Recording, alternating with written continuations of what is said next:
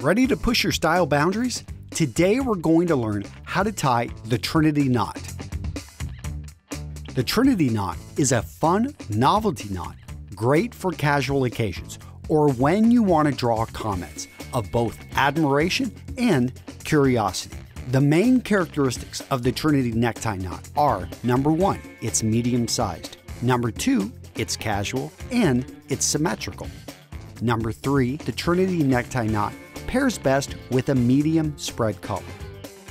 Start by draping the tie over your neck, adjusting it until the narrow end is longer than the wide end. The exact length will vary by person and necktie length. Cross the narrow end of the tie over the wide end, and then bring it under and through the neck opening.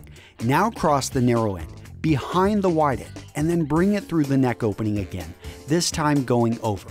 Bring it behind the wide end again, then cross it over the wide end in the front. Go up through the neck opening once more, then pull it through the loop formed in the front. Now comes the tricky part. Take the narrow end and bring it behind and around the wide end, then pull it through the loop at the top. It's now time to tighten the knot. Tighten the bottom of the knot by pulling on the top loop. Pull the side loop to tighten the top, then pull the end to tighten the side. Repeat until you're satisfied. Bring the knot up to your neck by holding the wide end while pushing the knot up with your other hand. Tuck the end of the tie behind the neck loop and under your collar.